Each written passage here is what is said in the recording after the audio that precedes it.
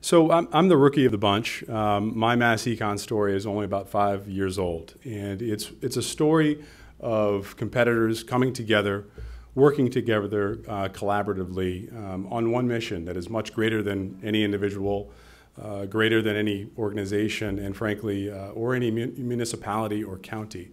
And I think that is what um, is so great about MassEcon. Five years ago, I sat down with Susan Houston and Brian Cohen um, who was the then chair of MassEcon. Brian at the time also worked for Transwestern, a formidable competitor of CBRE. Fast forward today, we're now colleagues uh, due to you know, uh, a merger of firms in our, in our great city of Boston.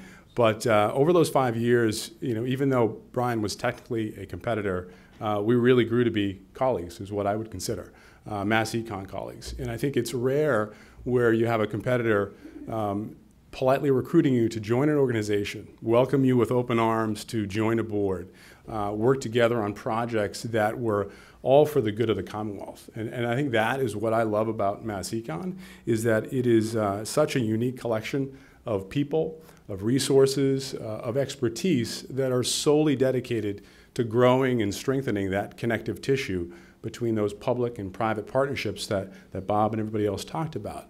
And the, the, the health of those partnerships is really what I think makes uh, the Commonwealth able to flex its muscle in its might.